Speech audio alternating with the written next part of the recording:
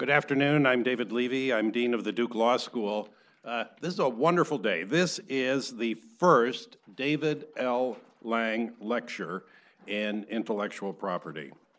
This lecture was formerly known as the Frey Lecture and has brought top intellectual scholar, intellectual property scholars and practitioners to Duke uh, for many years. Last year, in honor of David Lange and his many years of teaching and scholarship here, uh, Kip and Meredith Frey very generously asked that the lecture be renamed for David, and so it has. Thank you, Kip. Thank you, Meredith. Kip is here.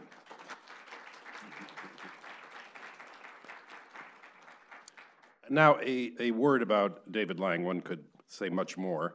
Uh, David came to Duke in 1971, and he retired last year after 45 years of service to the law school and the law school community. He taught and he wrote, and he became the Melvin Shimm Professor, and he's still a force, and I mean a force in our present so many have been influenced and moved to tears or laughter or exasperation uh, by David's eloquence, by his wit, his insight, and his ideas. We are very fortunate to welcome uh, Professor William Fisher today as the first of our Lange lectures. Professor James Boyle has the honor of the introduction. Uh, Professor Boyle is the William Neal Reynolds Professor at Duke Law School. He's a leader in the study of the public domain. His books and articles are truly path breaking. And his latest publication with Jennifer Jenkins is a comic book entitled Theft A History of Music. And it is a must read. Professor Boyle.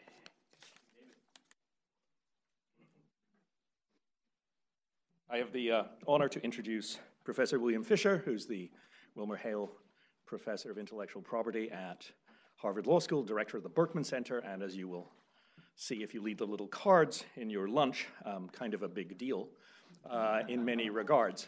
Um, when uh, Professor Fisher was asked to give this lecture, he emailed me immediately saying how honored he was, particularly honored to give the first Lange lecture, because as he said, I am a big fan of David's. And if you know uh, Professor Fisher's understated mien, this is the equivalent of me doing cartwheels while waving a vuvuzela in the air. Um, big fan is, is, is pretty close to the top of his superlative list. Um, so I'm delighted to introduce him. I, I can't um, but say that when Terry, uh, who his nickname Terry, when, when Professor Fisher said this, he was referring principally to David's role as scholar and David's role as public intellectual. And we're also honoring something else here, uh, which is David's role as teacher. Um, David has taught many people over the years. One of those people is Professor Kip Frey, uh, who generously created this lecture with his wife Meredith. Um, and uh, a, a, film school graduate, he sat in David's classes and thought, you know, this law stuff might actually enable forms of creativity that I could go on to do, and proceeded as a venture capitalist, as a CEO, and an innovator in multiple areas uh, to show that that was true. Inspiration uh, can actually yield very concrete results. Uh, I invite you to look at his bio. He's the head of our law and entrepreneurship program, of course. Um, I can't refrain from saying that while, as a CEO and, and venture capitalist, uh, Kip's ventures have met with almost universal success, there was one just tiny thing that he missed the, the kind of opportunity to be like the first to fund Google that you just get away. While at the Turner Broadcasting uh, Network, running a troubled uh, series of running a, a, very successful business, but which had one wrestling franchise not doing well. Um, he talked to David about it, and David suggested quite seriously that the f- network's fortunes could be resurrected if Kip were to allow David to wrestle um, in this as Professor Terror. Amazingly, he let this one go by. Um, and I'm sure that you must lie awake at nights saying, if only I had, you know, like, if only I had made that catch. So that's the one thing that we, we have not got out of this collaboration. But thank you, Kip and David. Um, Professor Fisher uh, and I share a preference for short encomia of praise, introducing a speaker on the theory that if the speech is terrible, then the big introduction just makes it worse. And if the speech is great, then the introduction is unnecessary. Um, I can't help, though, than say that if you look at His bio, and particularly if you go to his faculty page, the sheer breadth of his writing uh, invites both um, envy um, and, and, and a, a, great degree of wonder. Uh, his work has ranged from fair use through discussions of cultural theory to discussions uh, of access to medicines, uh, property theory, the history of intellectual property, and to the subject on which he will speak today, traditional knowledge, which, as you will see, is both a vexed and a fascinating issue. We're delighted to welcome here, him here for the inaugural Lange Lecture. Professor Fisher.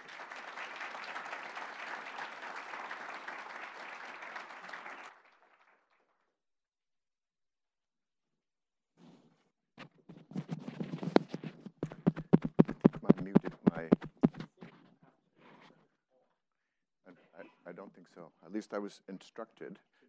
No, no, I was instructed that the uh, system would turn it on. Uh, well,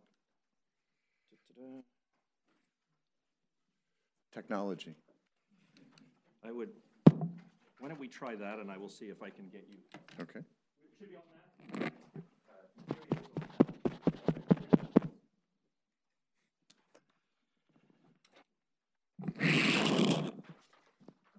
Thank you very much for the invitation.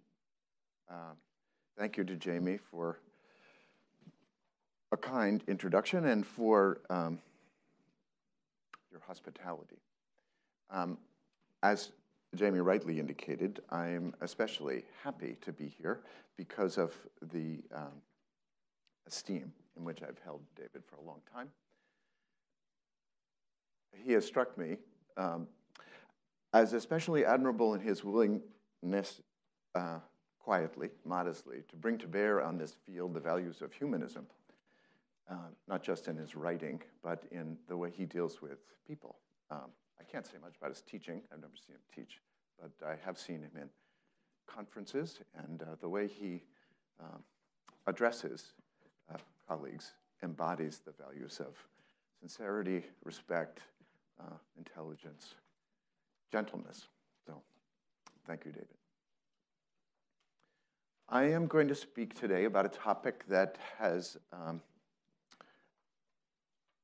puzzled many scholars in the field of intellectual property, including me, for a long period of time. It is also, as it happens, a subject of considerable current debate because after a hiatus period of a few years, the World Intellectual Property Organization is reconsidering the questions we'll be addressing here today. So the topic um, merits attention, as I say, both because of its complexity and because of its current importance. So what is traditional knowledge? Uh, there's a fair amount of struggle over the appropriate definition within the field of scholarship. I'm going to use provisionally the following.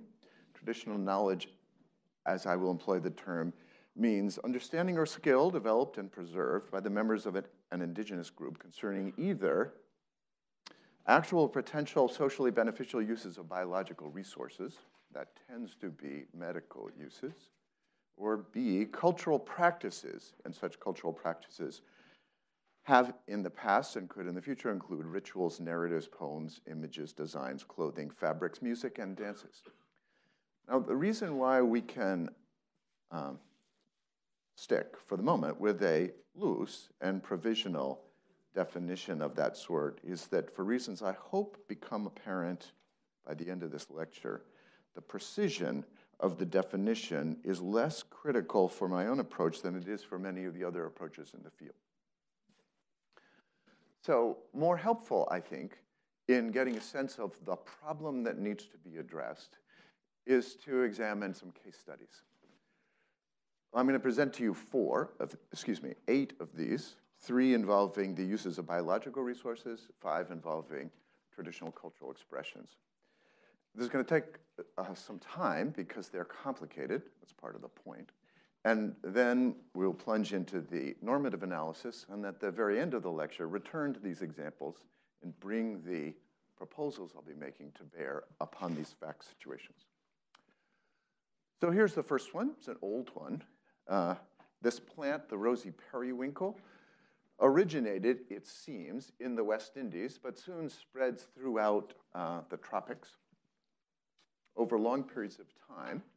Indigenous groups, including groups in the Philippines uh, and Jamaica, observed that it had medicinal powers, in particular that it uh, could be employed to treat diabetes and then um, less serious ailments like sore throat, pleurisy, and dysentery.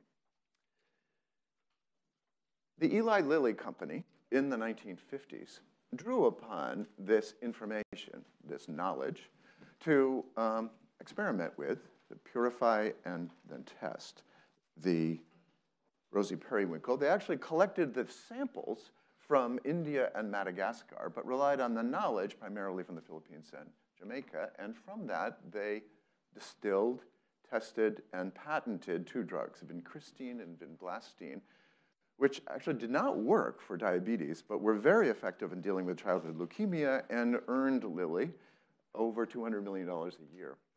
Uh, none of the possibly relevant groups, those in Jamaica, Madagascar, India, or the Philippines, enjoyed any of that revenue. Right, that's the first example. It's, uh, as I say, quite old and familiar example in this field. Here's a somewhat more recent one. For a very long time, roughly 25,000 years, the San people, sometimes known pejoratively as the Bushmen, have lived in this sector of southern Africa. Their numbers were reasonably stable over millennia until the, uh, excuse me, the 17th century when um, genocide, primarily by the Dutch, reduced their numbers from about 300,000 to 100,000. But they still lived in the same area, practicing traditional nomadic um, ways of gathering their food. So here are some images of San. And they still occupy significant portions of South Africa, Botswana, and Namibia. In the same area occupied by the San, this plant, Hoodia, grows. And the San discovered over these millennia, it too had medicinal powers. In particular, it was an appetite suppressant, and it helped to deal with indigestion and infections. A detail here, which we may become relevant later on, is the, this is the current distribution of Hoodia, the plant, and this is where the San currently live. So they're not exactly on top of where the biological resource currently is located, but close. A company, a research-based company in South Africa, CSIR, relying upon the folk knowledge concerning the medicinal benefits of Hoodia, began, like Eli Lilly, to test it and ascertained that a particular compound, which they called P57, was indeed medicinally powerful and did have appetite suppressant potential. And they patented it, CSIR patented it in South Africa, not actually in most of the rest of the world, but in South Africa. And they then cut a deal with a British firm, Phytopharm, to develop and distribute any drug that would emerge from this. And Phytopharm promised to pay them a significant amount of money a bit upfront, but mostly in the form of milestone payments and then a share of the royalties over time. Phytopharm then quickly partnered in 1998 with Pfizer to do most of the testing. And then the Observer in England got a hold of this story and in particular revealed that the San from which the information had come and who are almost without exception impoverished weren't getting any share of the benefits and uh, put pressure on CSIR to do better. And so there ensued negotiations, and the fruit of those negotiations was a very complicated and interesting trust, which was set up on behalf of the various San groups in the three principal countries in South Africa. And the key financial element of this is CSIR promised to pay between 6 and 8 percent varied slightly by circumstance, of the revenues they gathered from Phytopharm to the trust, which in turn distributed in a variety of ways to the San. Unfortunately, it turned out that Hoodia has some side effects, and so Pfizer withdrew. Phytopharm temporarily aligned itself with Unilever, but Unilever also despaired of generating something that um, would be commercially viable. So they withdrew, and so probably the San will, in the end, not get anything out of this, not because of bad arrangements, but because of the limitations of the drug. So, incidentally, in the vein of news you can use, if you go into health food stores around here, you will see things that list Hoodia as a um, component. Don't buy them. uh, it turns out probably that it does indeed have appetite suppression powers, but that's because it's doing bad things to you. So. okay, so third example. It's been known for a long time that Quassia amara, a um, drug, excuse me, a plant that grows in this area of the world, also has medical possibilities. One of the countries where it is most commonly used is French Guiana. This is what it looks like. Another research organization, this time based in France, IRD, um, knowing that it potentially had medical benefits, went to, um, had personnel go to French Guiana and interviewed members of these five groups. Now, the Kalina are a traditional indigenous group in French Guiana, uh, descendants of the Carib. They live here. The uh, uh, are partly in Guyana and partly in Brazil. And then, as you can see, there are Creole, Brazilians, and Europeans, all of whom were employing this plant for um, malaria. So the researchers, the ethnobotanists, returned with this information to France, identified an active substance, obtained a European patent in 2015, from which they anticipate making, in this case, probably quite a lot of money if it is indeed as beneficial for treating malaria as it appears. The arrangement, once again, came to the attention of the press, which um, shamed uh, IRD into promising to the government of French Guiana, this is actually important, a flow of money if there are commercial benefits to the drug. Whether any of that money will make its way to the indigenous groups remains to be seen. That's number three. Number four, this is a uh, Wandjina spirit image. It appears on a cave in northwest Australia. The indigenous group that um, has created and associated themselves with these images over a very long period of time repaint them annually on the ceilings of caves. They have a lot of cultural and religious significance for this group. Here they are in the process of repainting. Some years ago, suddenly, unexpectedly, in Perth, graffiti artists began to draw upon the Wandjina spirit images in the drawings they put on walls. And this spread very fast. So they're on brick walls, and they are modified in various ways from the originals, but clearly recognizable as Wandjina spirit images. The Aboriginal group, furious over what they regarded as desecration of their cultural heritage. A lot of public debate, nothing came of it. Fifth example, again from Australia, although this one also implicates Vietnam the Aboriginal group in the northern tip of Australia subscribes to a ancestor myth or ancestor narrative that contemplates that the original arrivals on this peninsula transferred their land to this particular clan with a set of duties associated with this land, and those duties in particular included performing ceremonies, producing patterns of paintings, and uh, commemorating the journey. The um, head of the clan, this man, conferred upon a young woman artist, Banduk Marika, a license, what we would describe as a revocable license, to produce images based upon the traditional motifs.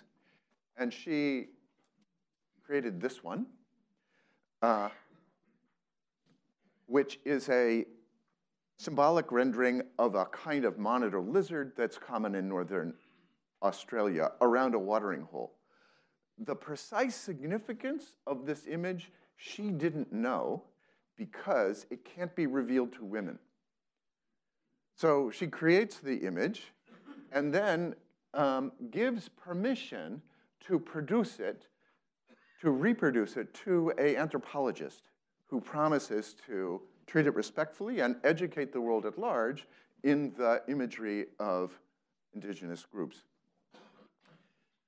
A company in Vietnam making carpets obtained a copy of the book and produced a carpet with this image on it, and then shipped the carpets, fatally for them, back to Sydney, where they are sold in a company called Indofurn. Now, the images are not identical, but for the copyright folk in the room, this is striking similarity. There's no question that copying was going on. So here, geographically, is what happened. This is the original clan. The image is created there. It's exhibited in the National Gallery in Canberra. It's then, as I say, produced in a book which appears in Vietnam. The carpet is made there. It's then shipped to Indofurn, and a copyright infringement suit is initiated in Australia. Now, this is unusual because both the plaintiff and the defendant are in the same country. Rare under these circumstances, but illustrative. And so, what's the outcome? The Australian court finds in favor of the plaintiff, orders damages in the form of 188,000 Australian dollars. I think it's about half that in US dollars the money is not given to um, Marika alone. It's distributed to all the artists who are in a similar position. And then um, the Indofurn had to turn over all of the carpets that remained in the store. They didn't have to retrieve those that had already been sold, and they were burned publicly. Okay, kente cloth is a brightly colored fabric produced in a particular sector of West Africa, which has a lot of symbolic significance. So this is the zone, and it's originally created by the Ewe and Ashanti indigenous groups. In the beginning, its use is tightly limited to only men and only rulers. Uh, here's some illustrations of it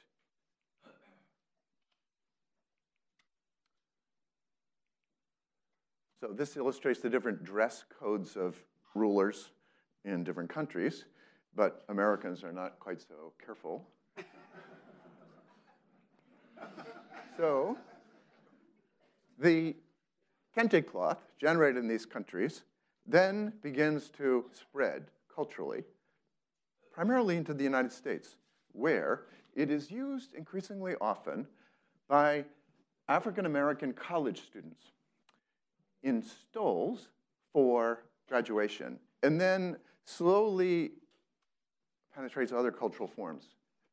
Earrings, iPhone covers, covers for lamps, bow ties, BMW steering wheel covers. None of the fruits of these sales go to the Ewe or Ashanti in Ghana. Okay, only a few more to go. This is a uh, carpet in Western Tibet, a set of images that draws heavily on Buddhism, woven by Tibetan um, weavers who use a particular strain of wool found, not surprisingly, in the mountains in that area. A lot of religious significance, despite the fact that these are carpets and are walked upon. So, this is an example of a Tibetan rug. Culturally originates here in the 1950s when many residents of Tibet are driven out of the region by the government of the People's Republic of China. They, most of them, settle in Nepal where they carry on producing these rugs and shipping them to customers in Western Europe and the United States. So here are some of the rugs you can buy. You can obtain them on eBay for modest prices, or you can go to companies like this, Rallo, which advertises itself, I think truthfully, as being founded by a Nepalese weaver and committed to sharing the revenue, the quite substantial revenue, that they earn from their rugs with uh, the weavers in Nepal and with groups in Nepal, Tibet, and New York City that cherish and sustain the traditions of Buddhism.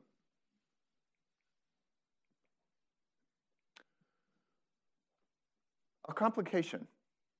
If you buy a Tibetan rug in a store in New York, from Rallo, it will indeed resemble one of the sets of patterns that were traditional in Tibet circa 1800, but not tightly. The patterns produced in Nepal are shifting to accommodate Americans' taste for geometric patterns. So they're authentic, but they're changing under the pressure of the market. All right, here's the last case study. The Bantu in southern Africa, one of the groups that was partly displacing the San, were, at the time of um, slavery in the Western Hemisphere was getting off the ground, concentrated in these regions, and many were forcibly taken from those countries to, by the Spanish traders, to the southern part of um, Latin America, in particular around the Rio Plata. So this is the zone we're going to be talking about for a minute. When they arrived, the slaves uh, began to dance, oh, this should here, using dances that had been traditional in the parts of Africa from which they came. And the dance forms were reasonably stable, but they began to, began to evolve, and they came to be known as candombe. And then the practice of dancing this fashion began to leak across racial and class boundaries. So, into lower middle class dancers in Uruguay, and then um, upper class dancers in Uruguay, and then to London, where the tango, which is the outcome of this dance tradition, becomes popular, specifically in 1912. Very soon thereafter, cultural transmission moves across the Atlantic, and beginning in 1913, the tango starts to penetrate American popular culture. It's popularized in part by Arthur Murray, who invents a new way of teaching dance in which he created drawings that showed where the man and the woman are supposed to put their feet. And he advertised his studios by distributing these drawings.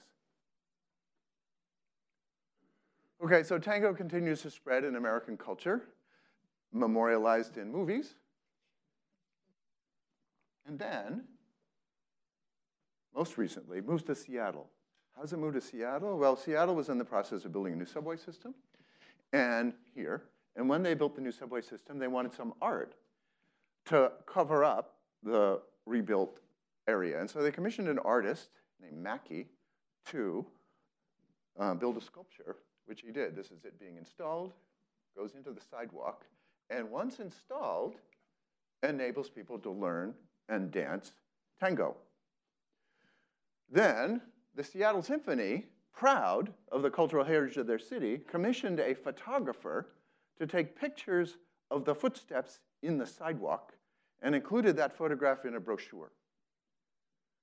So the chain here is Candombe, Tango, Arthur Murray, Mackie the sculptor, Rieser the photographer, and the Seattle Symphony. Now there is a copyright infringement suit that emerges from this. Mackie brings suit against the Seattle Symphony. But that's not our concern. Our concern is that candombe survives and it is still danced in Uruguay. So our puzzle here is, well, what about these people? Are they, are they entitled to anything? Okay, so that was 20 minutes. It's a long time, but necessary, I think, to get a sense of this complicated field. And now we're going to turn to a normative analysis. In the, as I say, substantial literature on traditional knowledge, there are five main arguments that have been made in favor of enhanced protection and three arguments that have been made against it. simplifying somewhat, but not a lot. So I'm going to summarize the arguments for you and then subject each one of them to what used to be called internal critique, meaning take its premises as given and examine how well they hold up. And this process will, I hope, eliminate some as credible arguments. In particular, three of these are going to drop out, but leave others in place. And after this process of sifting, we're going to end up with a shortened list, but still a difficult list to manage. We're going to take the remaining arguments and subject them to critical scrutiny using what I'll be describing as cultural theory and see what pops out. So, first argument is uh, possession.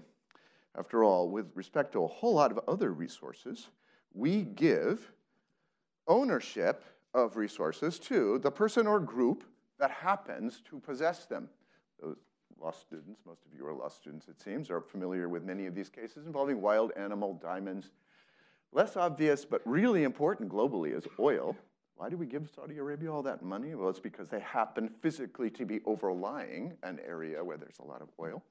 Land titling systems in Latin America are founded on the same principle. So, possession is a really important guide to property rights. And if we conclude that property rights and genetic resources in particular are a good idea, then there's a presumptive argument for giving rights to the persons or groups in current possession of them. And that turns out to be interesting from the standpoint of the first three case studies we're considering. So these, this is how global biodiversity is concentrated. So as you can see, there are three main areas in the world where there's a great deal of biological diversity. And this is where the indigenous groups are concentrated.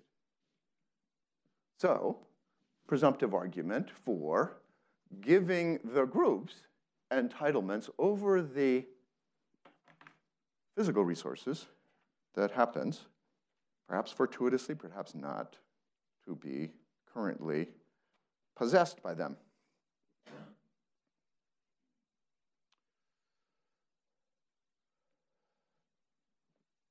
Okay, so that's the first of the arguments. Here's the critique. First, unfortunately, the alignment between the locations of the groups from which the knowledge concerning the uses of these resources emanated and the resources themselves is imperfect, as I indicated in one of the case studies with respect to the San. So there's slippage already. A more fundamental and serious problem is that even the scholars most enthusiastic about the normative significance of possession, such as Richard Epstein, concede that it's basically a presumption a presumption in favor of giving entitlements to the first possessor, but a presumption that can be overcome relatively easily by stronger normative arguments, of which there are many in this zone. So even though at the threshold it has some initial uh, attraction, my suggestion is we discard possession as a guideline. The same fate is going to be suffered by utility, the criterion employed by the dominant welfare theory of intellectual property. How the utilitarian criterion is sometimes applied to traditional knowledge is, is in a unusual way. There's no credible argument that assignment of intellectual property rights to the groups is necessary to induce the creation of the knowledge. The argument is rather that giving them entitlements will prompt them to preserve it and preserve the resources over which they have custody, for example, to prevent cutting down of the rainforest. It's an argument, it's an argument that unfortunately more or less succeeded in the Eldred case, but it's a weak argument. Why is it a weak argument? Because if you are serious about cost benefit analysis, it turns out there are plenty of alternative, less intrusive incentives for the preservation of the knowledge and the resources. And the welfare losses associated with conferring market power upon the holders of this knowledge would be very large.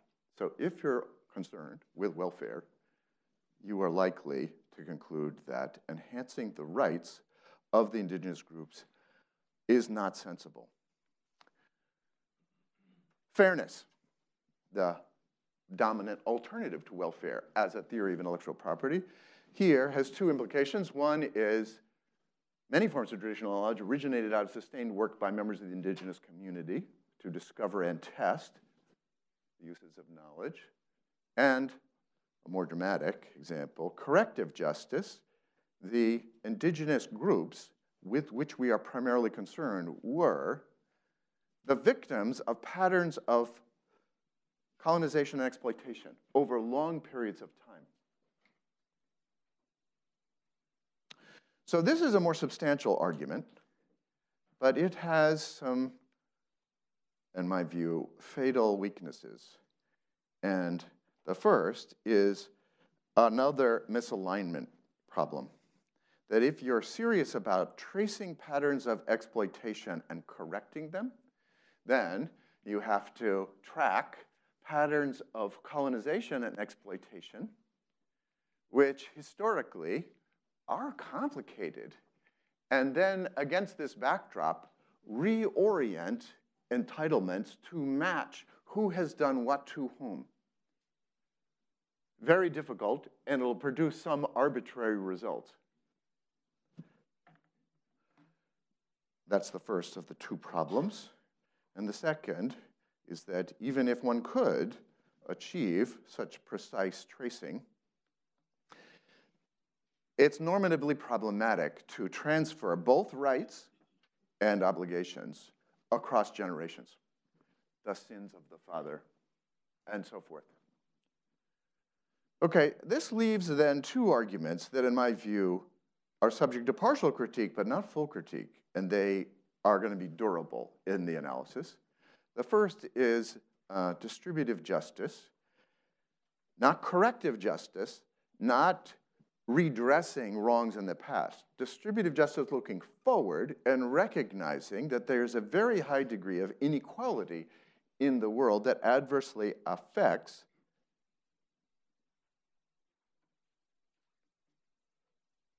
indigenous groups.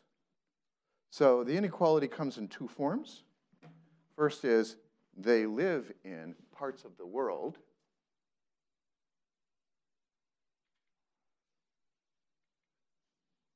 that are poor. And within those parts of the world, they are poorer than average by a lot.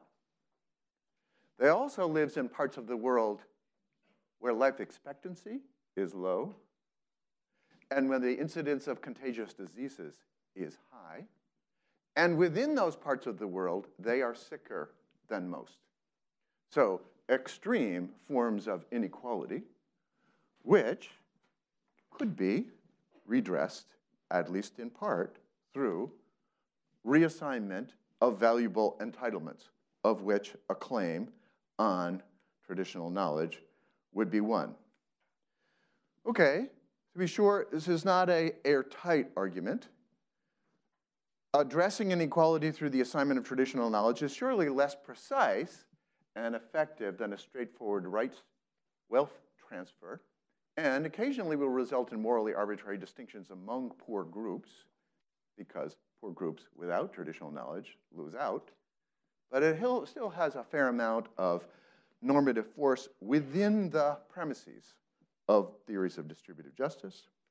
And we finally arrive at communitarian theory, an argument that points in the same direction for different reasons. Traditional cultural expressions, in particular, are central to the identities of many indigenous groups, and in particular, their religious ceremonies are central to their senses of self, and consequently, to the extent we value communities, we should respect the things that give them life. The critique here is that a hazard of fetishizing ancient forms of traditional knowledge and conferring upon those things economic value creates a practical risk of impeding the evolution of cultural practices that foster more accurate and fulfilling forms of community. Okay, a problem to be borne in mind, but a worry rather than a fatal objection. Okay, so those are the arguments in favor, filtered. The arguments against, filtered, are first, that protections for traditional knowledge would encroach on the public domain, defined as the zone or reservoir of information and ideas that anyone can draw upon for free for enjoyment or for the creation of new products. Now, this is a field in which scholars here have devoted a great deal of productive work. And I think that in this particular context, it's unhelpful. so, why? so, why is that particularly in this context, the set of ideas that fits the definitions I just supplied is modest and more relevant for analytical precision is subsets of knowledge that are subject to a variety of freedoms and restrictions. And our goal in this area should be to identify the set of restrictions and freedoms that will advance other values rather than to take as talismanic the idea of the public domain. There's a separate practical argument, which is it's politically fraught that through a complicated history, the concept of the public domain has become seen as a hypocritical gesture by developed countries. Developing countries hate this language. Okay, so for two different reasons, I'm going to put this one to the side, but that doesn't mean that there are not powerful arguments against traditional knowledge, and the two, the loom largest, are first, practicability. One of the reasons for exploring these case studies is to illustrate the difficulty of tracing and fairly accounting for the contributions of various groups in some instances. And then there are supplementary problems the difficulty of identifying who are the current representatives of those groups who should be entitled to regulate access to them or collect revenues.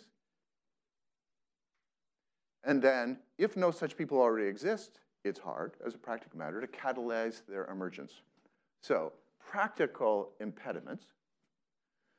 But now, partial critique from the other side, the Hoodia case, which I reviewed earlier, and a case I did not explore involving southern India, both suggest that, yes, the practical problems are often difficult, but they are solvable.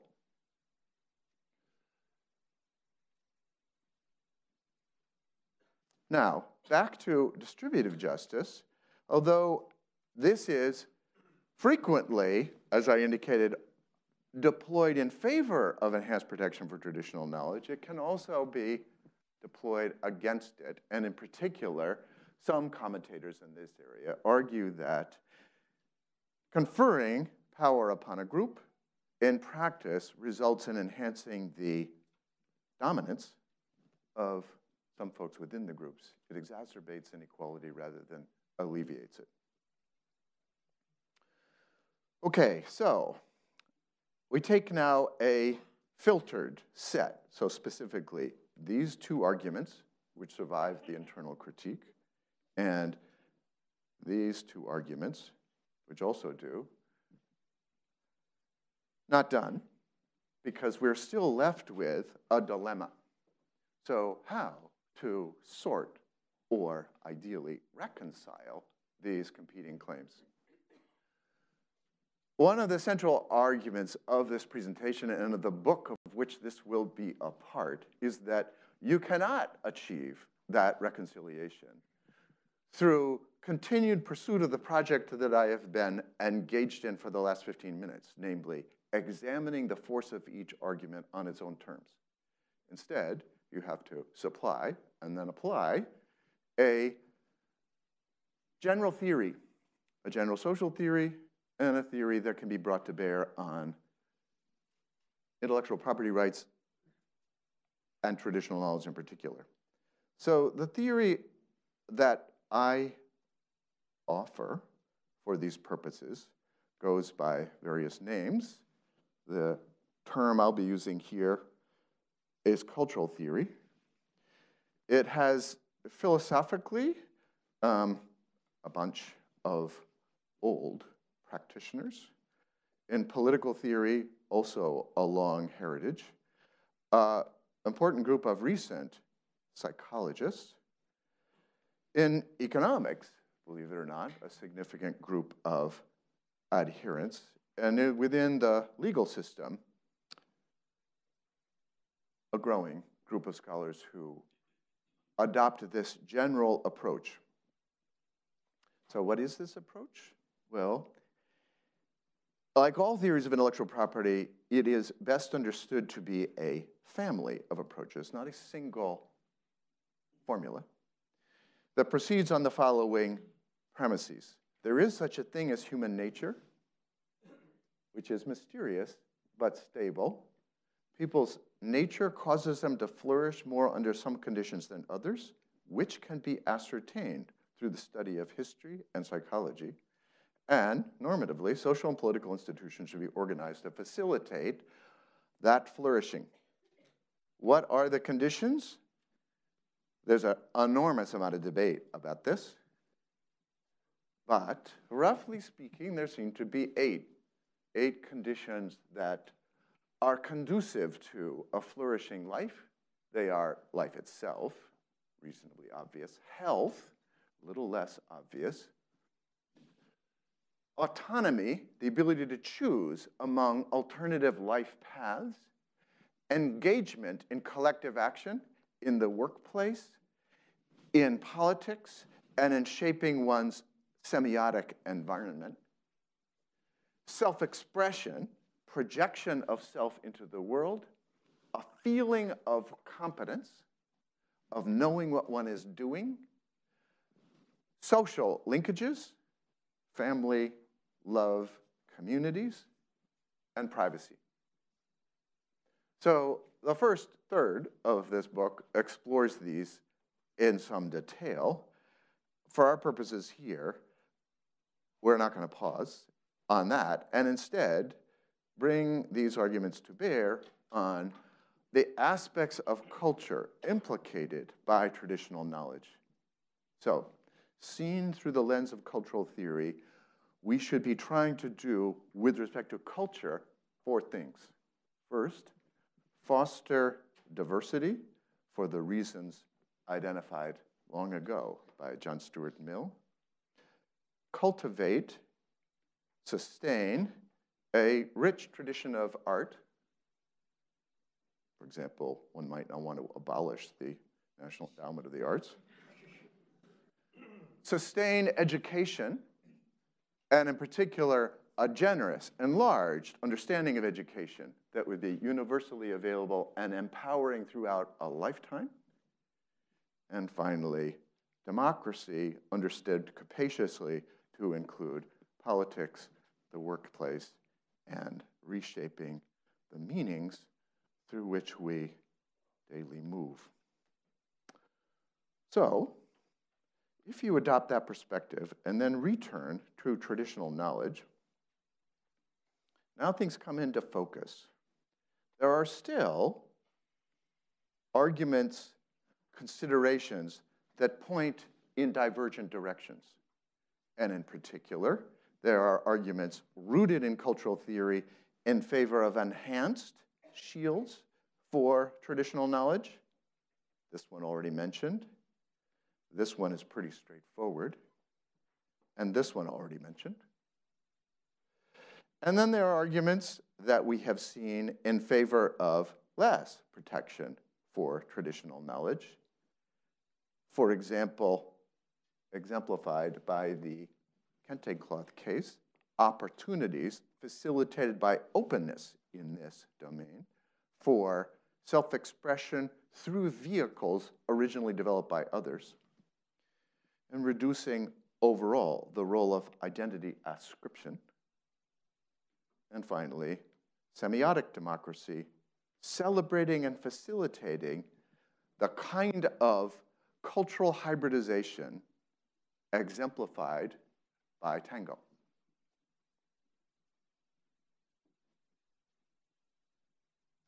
So, having focused the analysis a bit, we now turn to a practical question. How could we design a legal regime that would reconcile these disparate aspirations as much as possible?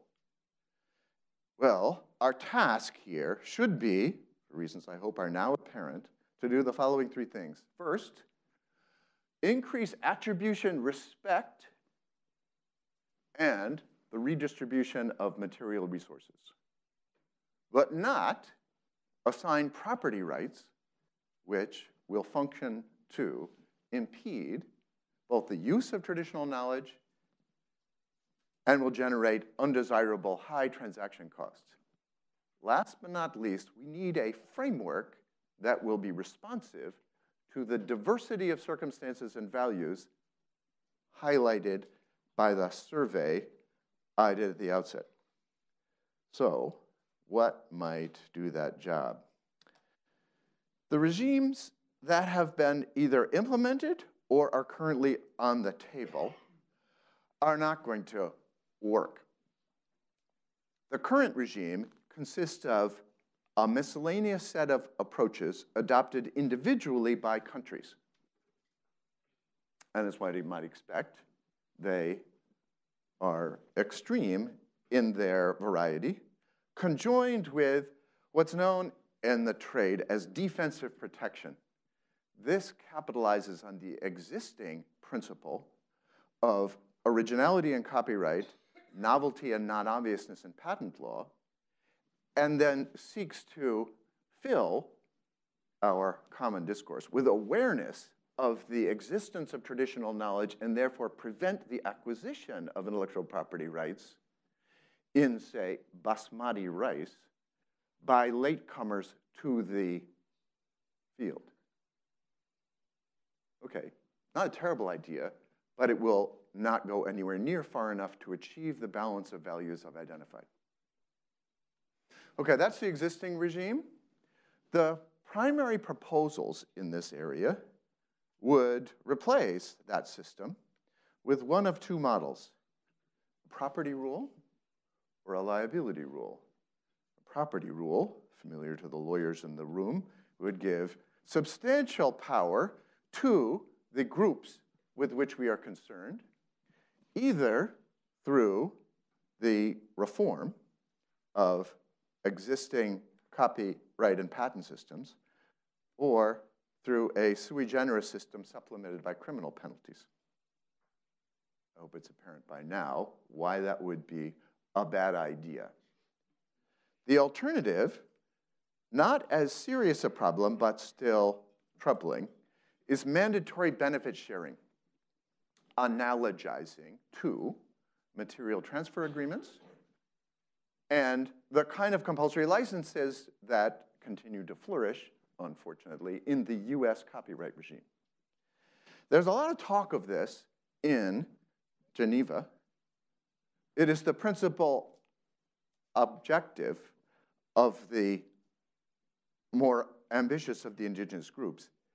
My contention is that it will fail to appropriately accommodate the array of values apparent in those eight case studies. And so what we need instead is a distributed system. Now, by a distributed system, I mean one that integrates several layers or levels of semi-independent norm definition and enforcement. For the techies in the room, the best analog here is the domain name system, in which the root establishes an overall framework, but confers upon the independent country code top level domains the power to define the terms on which domain names will be distributed in their jurisdictions and disputes will be resolved.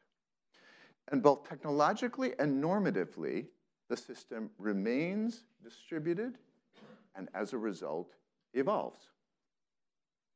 So how would you create a distributed system with respect to traditional knowledge? There are two ways. Here's the first. This is what I'm describing as the delegation model. So I'll just pick one of these provisions out. There are three. Suppose that we modified the TRIPS agreement or some other international agreement to include the following provision. It shall be a defense to a claim of patent infringement that the inventors in developing the protected product or process relied substantially on materials or knowledge taken from a member country in violation of that country's laws. And as you can see, supplementary provisions involving copyright and trademark law. If you wanted, you could add the laws of the indigenous groups, not just the countries from which the material is taken. So think about the effect of such a provision. In practice, what it would do is defendants in intellectual property suits in developed countries which had adopted such a provision would have a weapon in their hands. They would become private attorneys general seeking to invalidate the entitlements of the plaintiffs on the grounds that the plaintiffs had failed to respect the laws of Jamaica, Costa Rica, Ghana, and so forth. Aware of this threat, commercial users of intellectual property, excuse me, commercial users of traditional knowledge would abide by local norms or negotiate with the relevant groups for permission. So the net effect is you distribute two countries' lawmaking authority with respect to commercial uses of traditional knowledge, but not non-commercial uses. Okay, that's the first of the two. Here's the second. This is closer to the proposal that is more likely to get adopted in Geneva with some significant adjustments.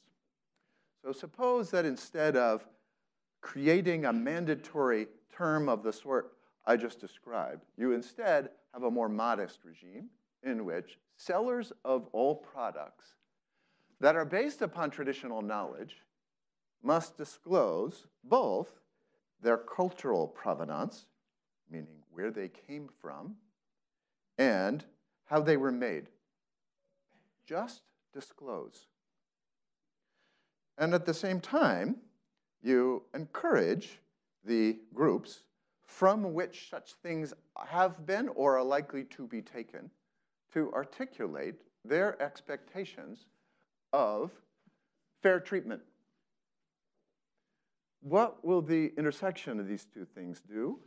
It will energize two forms of pressure, the market and social sanctions, which, if you think back over the eight cases, has been the key impulse for corrective negotiation in every instance. So let's take these two proposals and, by way of conclusion, reapply them to the eight examples.